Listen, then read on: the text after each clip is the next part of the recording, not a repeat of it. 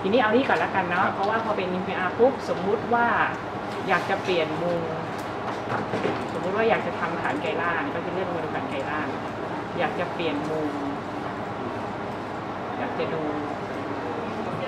อยากจะดูตรงเนี้ย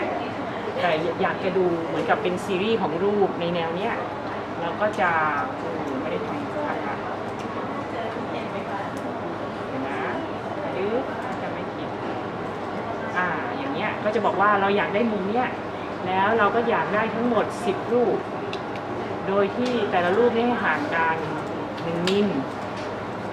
แล้วก็ความหนาของรูปก็หนึ่งมิลแล้วก็บอกว่าให้สร้างให้เรา สร้างเสร็จเขาจะบังคับมาเป็นมูวี่ให้นั่นก็คือเนี้ยสามารถคุมความเร็วความช้าได้ เราสามารถ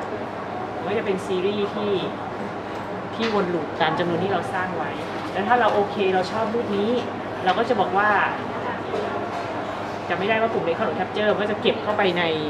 เซิร์ฟเวอร์เป็นเป็นเป็นวิดีโอหนึ่งอ่าเป็นอันนี้ปุ๊บมัน capture ไหมหรือว่ายืด capture หรือในกล้องเนี่ยนะเรามันจะโผล่มาตรงเนี้ยค่ะทำยังไงนะ